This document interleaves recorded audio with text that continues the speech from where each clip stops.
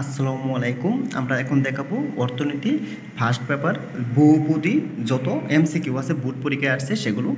এখানে বলছে, উৎপাদনের সমস্যার প্রথম পর্যায়, তাহলে আমরা জানি উৎপাদন সমস্যা প্রথম পর্যায়ে হচ্ছে উৎপাদন। কি করতে হবে? উৎপাদন। তার কি আছে? দ্রব্য উৎপাদন বা সেবা উৎপাদন। তাহলে কি হবে? এক আর দুই। ভুক্ত আর প্রথম পর্যায়ে না, এটা হচ্ছে শেষের দিকে। তারপর হচ্ছে ব্যষ্টিক এবং সামষ্টিক অর্থনীতি যত কমে কী কী? হ্যাঁ গিক শব্দ কী থেকে আসছে? হ্যাঁ এক নম্বর ঠিক আছে। আর অর্থনীতি ব্যষ্টিক হচ্ছে বৃহৎ, না ব্যষ্টিক মানে হচ্ছে ক্ষুদ্র আর সামষ্টিক মানে হচ্ছে কি বৃহৎ, তাহলে দুই নম্বরটা হবে না। আর অর্থনৈতিক আংশিক বা পূর্ণাঙ্গ চিত্র, আমরা কি আছে? হ্যাঁ ব্যষ্টিক অর্থনীতির মাধ্যমে আংশিক চিত্র পাওয়া যায় আর সামষ্টিক মাধ্যমে কি? পূর্ণাঙ্গ চিত্র পাওয়া যায়, তাহলে এক আর তিন। ক্লিয়ার কারণ কি বলছে? বৃহৎ মানে আগে বৃহৎ আছে, পরে ক্ষুদ্র আছে। যদি ক্ষুদ্র আগে থাকতো, বৃহৎ পরে থাকতো, তাহলে আমরা কি দুই নম্বর নিতে পারতাম। যেহেতু বৃহৎ আগে ব্যষ্টিক মানে হচ্ছে ক্ষুদ্র, সুতরাং এটা হবে না। তারপর বলছে রবিজের সংখ্যায় বিশ্লেষণ করেন, কয়টা বিশ্লেষণ করলে পাওয়া যায়? হ্যাঁ রবিজের সংখ্যার মধ্যে আসছিল অসীম এবং কি সম্পদের অসীম এবং সীমিত সম্পদের কথা বলছে। সেই সম্পদের পূর্ণ ব্যবহারের কথা বলে নাই। তাহলে রবিন্সের সংখ্যা আমাদের কয়টা বৈশিষ্ট্য পাওয়া যায়? দুইটা, একটা অসীম এবং সীমিত সম্পদ। সেজন্য এক আর দুই, তিন হবে না। কারণ রবিন্সের সংখ্যা আমাদের সম- সম্পদের পূর্ণ ব্যবহারের কথা তিনি বলে নাই। তার বলছে বলছে, নির্দেশমূলক অর্থ ব্যবস্থায় দামের ভূমিকা কে করে সেটা হচ্ছে রাষ্ট্র। নির্দেশমূলক মানে কি বা সমাজতান্ত্রিক মানে হচ্ছে রাষ্ট্র। সামষ্টিক অর্থনীতি বিবেচ্য বিষয় হচ্ছে কি, জাতীয় আয় আর সুদের হার আর ফার্ম। ফার্ম একটা কি? এটা ব্যষ্টিক আলোচনা, ব্যষ্টিক অর্থনীতি আলোচনা। সুতরাং কি হবে না? এটা হবে না। তাহলে এক আর দুই হবে, কারণ ফার্ম হচ্ছে ব্যষ্টিক, ক্ষুদ্র বিষয়। তার বলছে, অর্থনীতি নির্বাচন, বলছে অর্থনীতি নির্বাচনের প্রয়োজন হয় কারণ কি? অর্থনীতি নির্বাচন প্রয়োজন হন কারণ আমাদের কি? অভাব অসীম, কিন্তু সম্পদ কি? সীমিত, এক। সকল অভাব সমান গুরুত্বপূর্ণ না। সকল অভাব সমান গুরুত্বপূর্ণ না। সকল অভাব সমান গুরুত্বপূর্ণ হলে কি করতে পারতাম না বাছাই করতে পারব না। তাহলে দুই নম্বরটা হবে না। আর সম্পদের বিকল্প এবং দক্ষ ব্যবহারের সম্ভব। হ্যাঁ নির্বাচনের মাধ্যমে সম্পদের কি? বিকল্প এবং দক্ষ ব্যবহার করা সম্ভব। তাহলে এক আর তিন।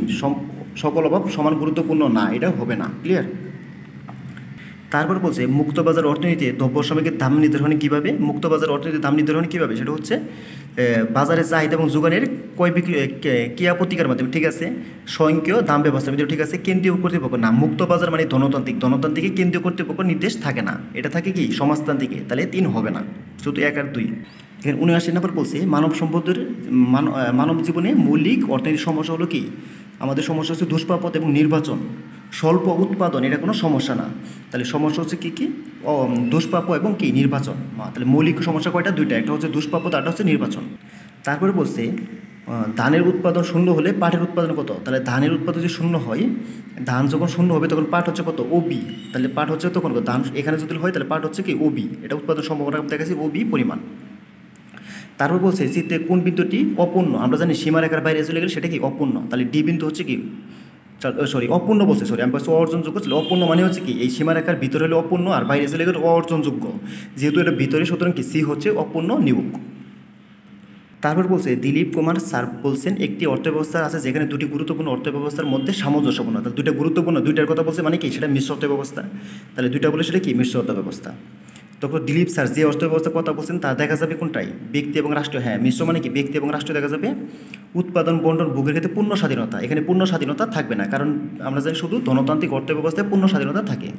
হ্যাঁ মুদ্রাস্ফীতি, তাহলে এক আর দুই হবে। এক আর তিন হবে, দুই হবে না, কারণ দুই হচ্ছে এটা কি? ধনতান্ত্রিক অর্থ ব্যবস্থার বৈশিষ্ট্য।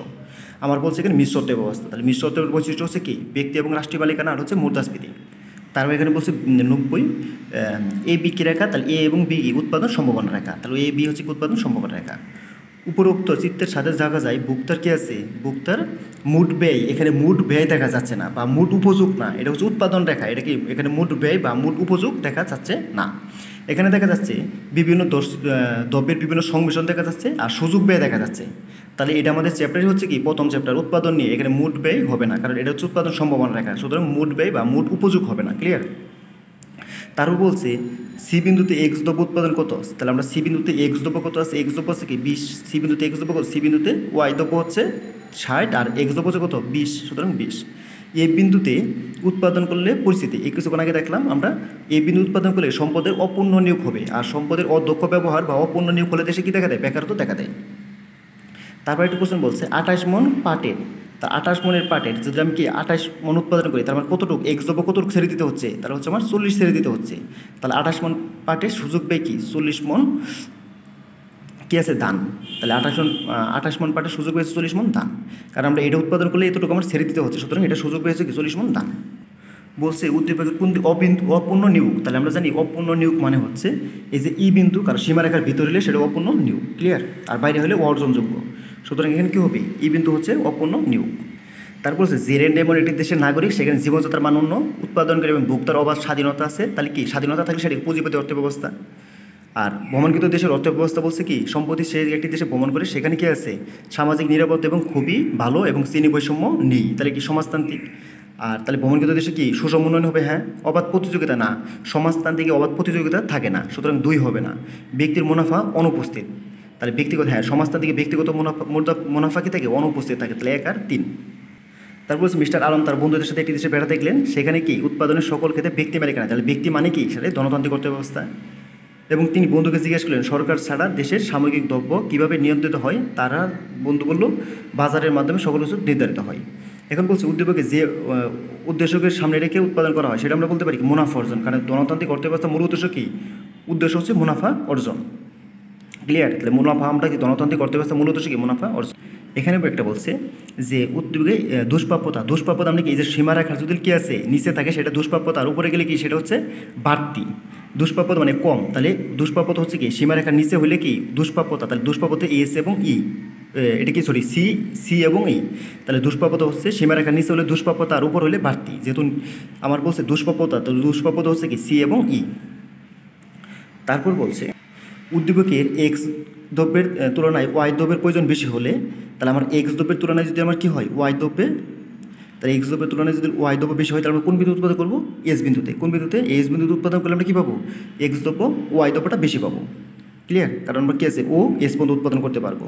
তাহলে এক্স দ্রব্য তুলনায় ওয়াই দ্রব্য বেশি হলে আমরা কোন বিন্দু উৎপাদন করব? এস বিন্দুতে। ক্লিয়ার তারপর বলছে এখানে এন বিন্দুটা কী নির্দেশ করছে? দেখেন, তাহলে এখানে এন বিন্দু, আমরা জানি কি? সীমারেখার বাইরে গেলে সেটা অর্জনযোগ্য। ক্লিয়ার তাহলে সীমারেখার বাইরে গেলে সেটা অর্জনযোগ্য। তাহলে এন বিন্দু হচ্ছে কি? সম্পদের অ স্বল্প তাহলে হচ্ছে এন বিন্দু কী নির্দেশ করছে?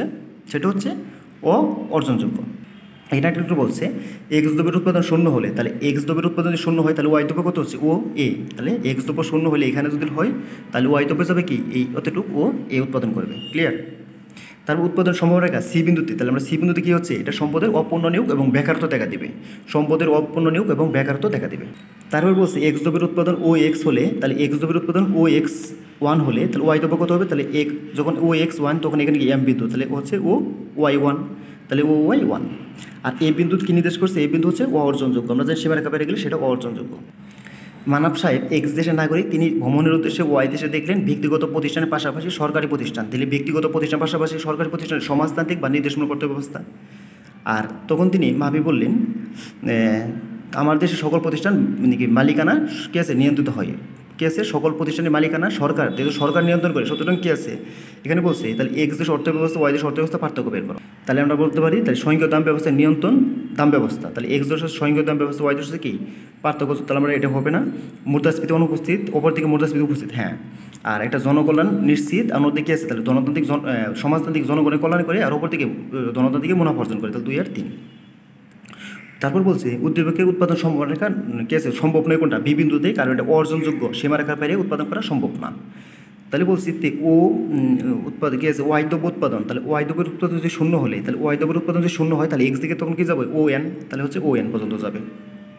ক্লিয়ার এই পর্যন্ত ছিল আমাদের প্রথম প্রথম অধ্যায়। এই বহু, বহুভূতি এমসিকিউ বুট করছেন। এগুলো দেখলে আশা করি আর সমস্যা হবে না। তারপর সমস্যা হলে কমেন্ট করে জানাবেন। আমরা এইভাবে, ধারাবাহিকভাবে সকল চ্যাপ্টার দিয়ে যাব।